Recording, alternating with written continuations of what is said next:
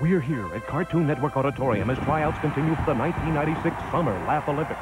Let's check in on Laff-A-Lympic hopeful Squiddly Diddly as he attempts the triple Palooka dive. You may remember Squiddly from last year when he injured his third tentacle in a tragic synchronized swimming accident. Oh, here he goes now. A good spring. a Nice follow through.